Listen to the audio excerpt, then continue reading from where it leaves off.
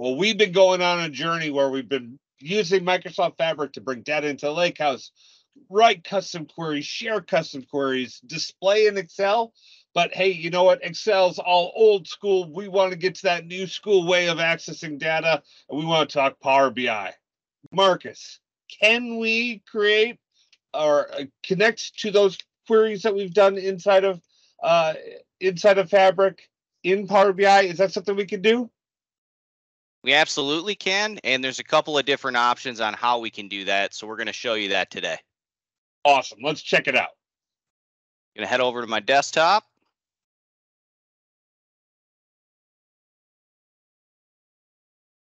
And picking up from our last video, uh, we are in our Fabric screen here, our Fabric experience. I have my demo lake house pulled up with the same query that we used in our previous video showing you how to integrate with Excel. So what I'm going to do here is I'm going to highlight that query. And again, notice the options that become ungrayed out in the table view here. Um, let me highlight that again. Mm. And bring this up. Last time we picked the download Excel file option where it directly created a connection to that query in our Excel workbook. This time I'm going to select visualize results and see what we get from that. So it's going to confirm that we want to use the highlighted statement. I'm going to click continue.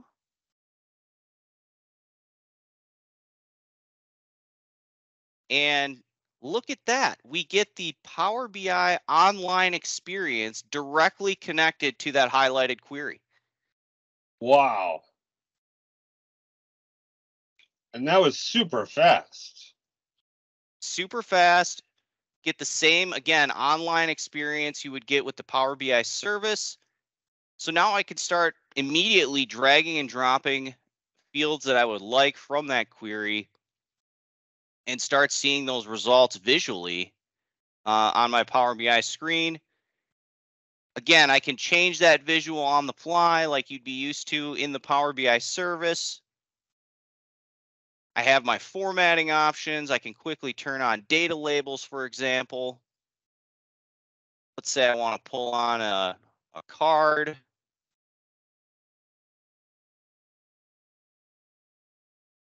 I can edit those labels.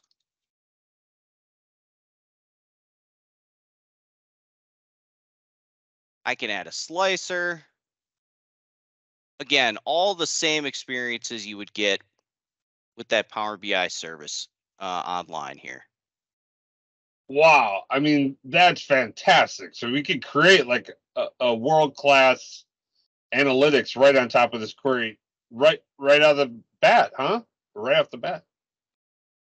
Yep, directly connected in the Fabric experience. I can take that query, immediately start producing visual results. And on top of that, after I'm done, if I if I want to save my results and keep working on that or share that with others, I can save that directly as a report here in the lower right hand corner. Oh, wow.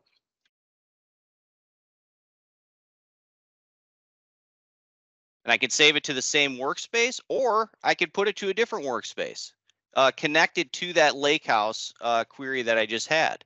So I'm going to keep it in the same workspace, save it,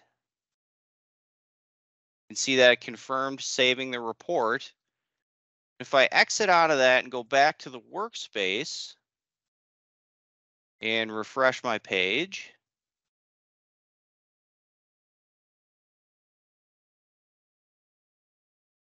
Look at that. I now wow. see my demo sales report. I can pull that up.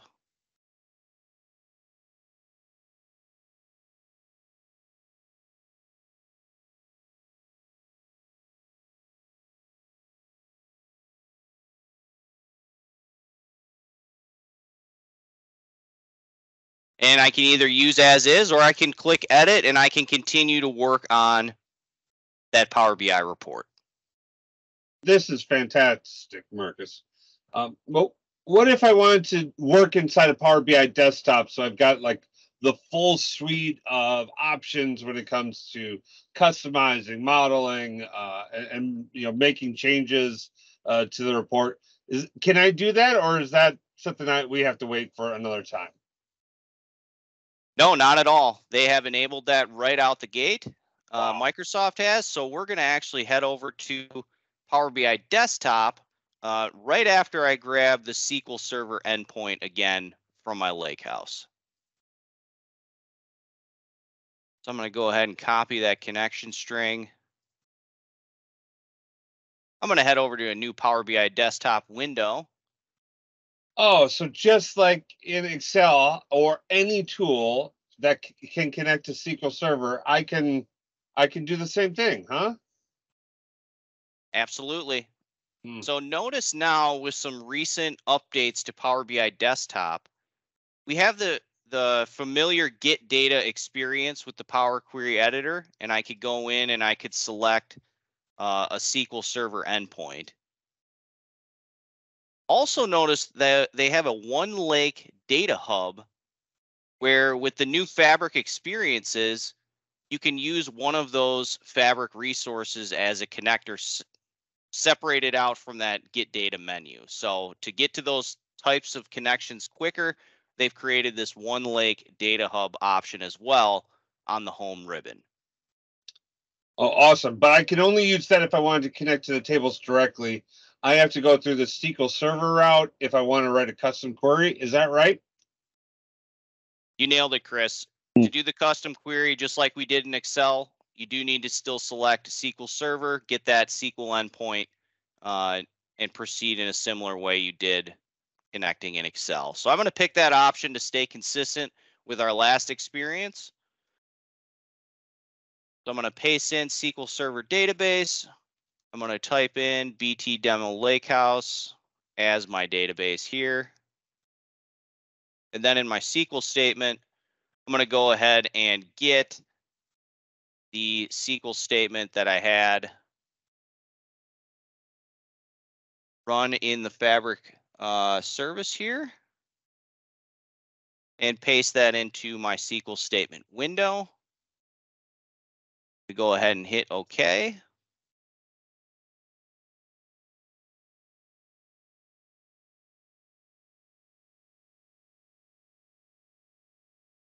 And as you could see, similar results to what we had in the Fabric experience online. Seeing that here in my query preview, I'm going to hit load. Oh, and interesting.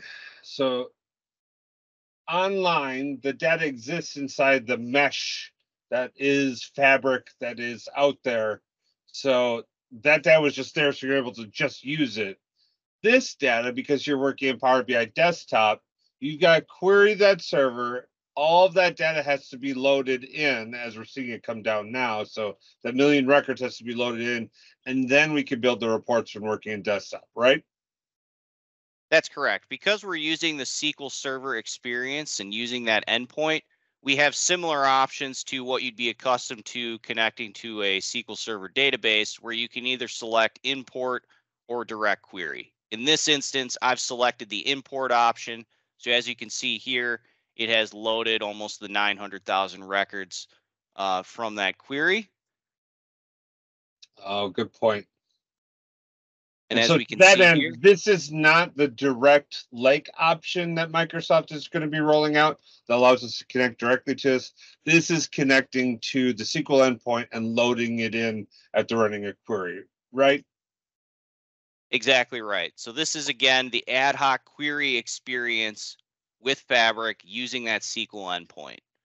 So just to show, let's start dragging in a couple of fields, get a few visuals. Just like we had in the service. We have our new on object uh, interaction here or editing experience. Mm-hmm. Put some data labels on that. Go back to my data. Pull in revenue.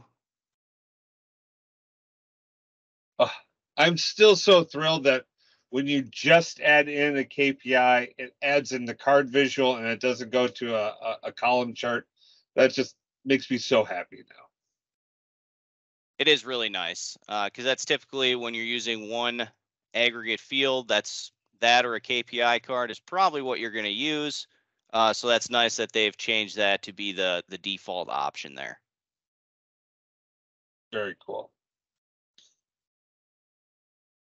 Okay, so we've shown the the ad hoc query experience. Now, what if I wanted to maybe not stick with this query and go into um, a direct lake experience uh, directly to those tables that I have in my lake house? So if I go to transform data here, I can actually uh, delete this query. I'm going to do close and apply. It's going to blow away that query that I had just put in. I'm going to go ahead and delete those visuals. And then I'm going to go to the One Lake Hub. I'm going to select Lake Houses here as my option. And I'm then going to select that BT Demo Lake House uh, resource here. Before I hit connect, notice the two options if I hit the down arrow on the connect. I either get the connect, which brings in all the tables included in my lake house in that direct lake connection. Or if I connect to a SQL endpoint, that also allows me to select any database objects, uh, either tables or views that I would have in that lakehouse. Oh, so when you connect, you're connecting to the default data set that you know we can build and manage over there. And when or the SQL endpoint, so you can connect and build your own model. Got it. Exactly. That makes sense.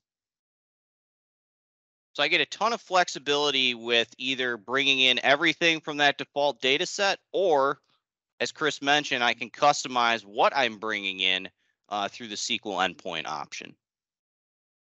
Wow, Marcus, this is incredible. Just all the different ways to access and use this data that's inside Fabric it's it's going to fit into any pattern that I'm currently using today, and I just kind of get to pick and choose which one works best for me in my situation.